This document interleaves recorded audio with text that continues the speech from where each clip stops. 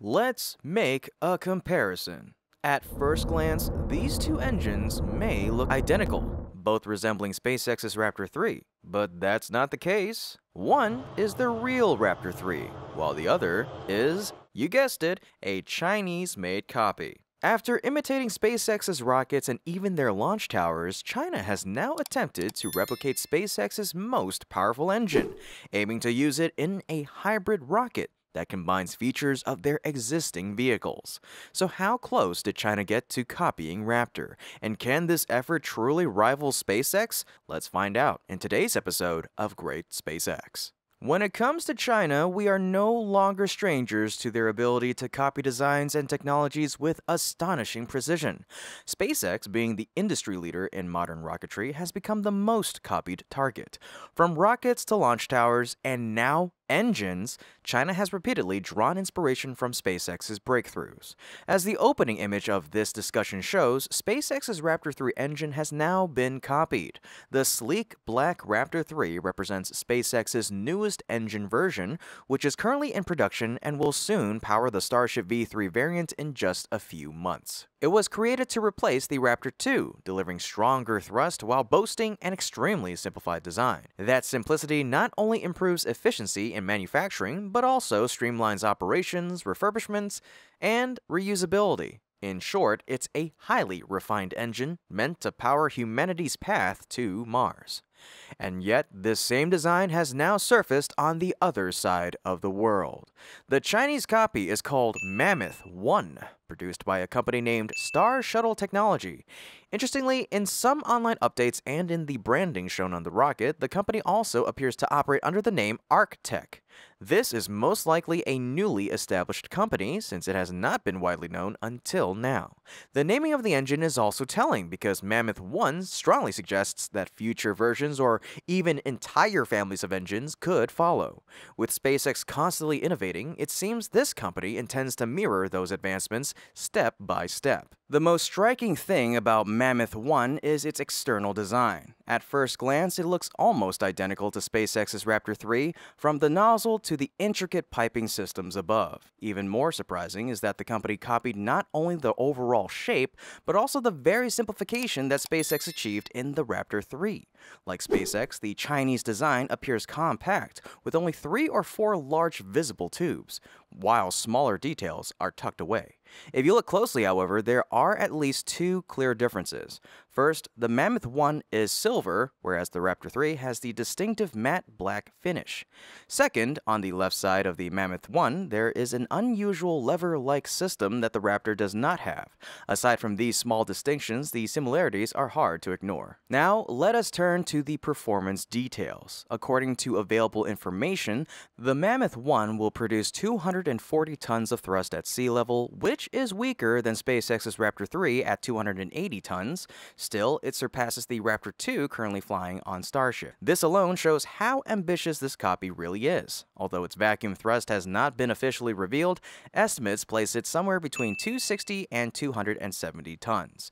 In terms of efficiency, the engine has an impulse of 330 seconds. While this falls short of both the Raptor 2 and 3, it's nonetheless a very competitive figure compared with most engines in service today. Structurally and mechanically, all evidence suggests the Mammoth 1 also uses a full flow staged combustion cycle just like Raptor. Even the choice of propellants matches SpaceX's design, relying on liquid methane and liquid oxygen. As for development progress, Star Shuttle Technology announced that Mammoth 1 passed a system plan review in the first half of this year.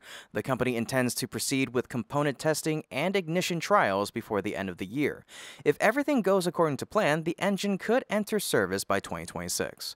But the copying does not stop at the engine. Right next to Mammoth 1 stands another replica, the launch vehicle itself. This rocket is named Glacier 1, and just like the engine, its name suggests that future versions may follow, and once again, the design looks strikingly familiar. In fact, Glacier 1 seems to be a mashup of several rockets. Its first stage clearly resembles SpaceX's Falcon booster, from its length to its grid fins and foldable landing legs. These features strongly imply that Star Shuttle technology intends to recover and reuse the first stage, very likely through drone ship landings at sea. Furthermore, the rocket is said to be constructed from stainless steel, echoing the same material choice as Starship. Looking higher up, we can see a hot staging mechanism positioned between the stages almost identical to the method SpaceX introduced for the Starship V3. The concept of hot staging, where the upper stage engines ignite before separation, is not new. It dates back to the Soviet N-1 rocket, yet SpaceX revived and perfected it, and now Glacier 1 mirrors this exact approach. The second stage is also a blend of inspirations. Its long structure, tapered tip, and oversized fairing are reminiscent of New Glenn, Vulcan, and Ariane 6. This design suggests that the rocket is meant to carry elongated or oversized payloads into orbit. In overall scale, Glacier 1 measures about 5 meters in diameter. That makes it larger than Falcon 9 but smaller than Starship. The company has not disclosed the rocket's height, but based on images and proportion estimates, the first stage alone appears to be about 50 meters tall, while the second stage stretches another 30 meters. Factoring in the hot staging staging section, the total height likely exceeds 80 meters. Images suggest Glacier 1's second stage will use a single engine, while the first may house 7 to 9, much like Falcon 9. The rocket is claimed to lift 40 tons to orbit, which with stainless steel construction, advanced staging, and reusability promising launch costs of just tens of thousands of yuan per kilogram. On paper, this looks competitive. But can copies rival SpaceX? By skipping trial and error, China's companies leapfrog hurdles. But a copy is never the same as the original. Without SpaceX's experience, infrastructure, and years of testing, it's unlikely they can match performance, reliability, or innovation. Meanwhile, SpaceX pushes forward. By the time Mammoth 1 and Glacier 1 debut in 2026, Starship V3 with Raptor 3 engines will likely already be flying. The gap will only widen as SpaceX accelerates progress. Still, China's efforts reflect growing ambition and the influence SpaceX wields globally. Even if Glacier 1 never reaches orbit, its existence underscores how SpaceX has reshaped the industry. So what do you think? Can these copies compete or will SpaceX stay far ahead? Me personally, while I can recognize the bold ambition behind these copies, it's clear that they face several serious problems. Let's start with the Raptor 3 engine itself.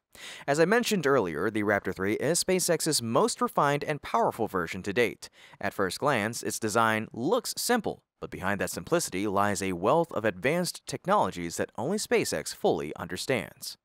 Achieving this milestone did not come overnight. SpaceX had to endure a long and difficult process of trial, error, and improvement. They moved from the complex and less efficient Raptor 1 to the cleaner and more practical Raptor 2, and finally to the highly advanced Raptor 3. Each step required years of research, countless tests, and constant refinement. Simplifying, eliminating inefficiencies, and integrating new solutions were all part of this journey. China, however, has attempted to bypass this entire process by directly copying the Raptor 3. They did not invest the years of development and testing that SpaceX went through. This raises a critical question. Do they truly understand the technologies they have copied? The more their engine resembles the Raptor 3, the greater the doubts about whether they comprehend its inner workings.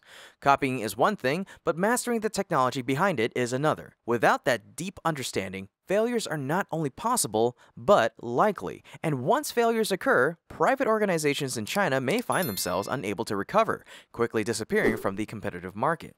The issues do not stop with the engine. The rocket itself shows significant weaknesses. One major problem lies in the design philosophy. Chinese developers often combine features from many different rockets into one with the idea that the best rocket is simply one that includes the best designs from everywhere. But this is a flawed approach. The best rocket is the one that balances all its components to work in harmony, even if some of those parts are simple. On the other hand, mixing top tier designs that do not complement each other can create conflicts and failures. Looking back to the Glacier 1 rocket as an example, its design seems unbalanced with a second stage that is far too long. To handle such a stage effectively, the booster should be between 60 to 70 meters in height to maintain control of the thrust. Extending the second stage like this suggests that the designers may have been too focused on increasing payload capacity without properly considering stability and control. Another concern is the placement of the grid fins. They're located far too close to the hot staging section. Hot staging releases tremendous energy, and with grid fins so close, they are likely to be damaged during flight. This raises serious doubts about the rocket's ability to be reused, a critical feature if it wants to compete with SpaceX. From the outside, these rockets and engines may look like impressive copies of SpaceX technology. However, the problems quickly become apparent upon closer inspection. In truth, perfection seems to exist only in appearance. When examined beyond the surface, these copies cannot match the depth of engineering, the years of refinement, and the proven reliability of SpaceX's systems. In the end, it's clear that while the ambition is there, these copies will not be able to surpass SpaceX. The company moves forward in confidence, its Falcon rockets dominating the global market through unmatched reliability and reusability. Falcon 9 and Heavy continue breaking records in launches, landings, and rapid reuses, with performance and cadence expected to climb even higher in the coming years. Now begins a new chapter with Starship, powered by the simplified Raptor 3 engine. Indeed, this V3 era aims to achieve orbit, master complex missions, and extend humanity's reach to the moon, Mars, and beyond. Later this year and into the next, SpaceX will have the chance to showcase its innovation as the space race heats up. The rivalry now isn't just between nations or companies, but between originals and copies. Yet SpaceX's proven systems, backed by experience and constant refinement, give it a decisive edge. Unless something unexpected occurs, its lead will hold, though the unfolding competition ensures the race will be fascinating to watch. This has been Kevin with Great SpaceX. Don't forget to like the video and subscribe if you haven't already to stay up to date with yours truly on the latest milestones in SpaceX's journey. Thank you so much for watching, and always remember, curiosity, imagination, and inspiration will follow you so long as you keep looking up.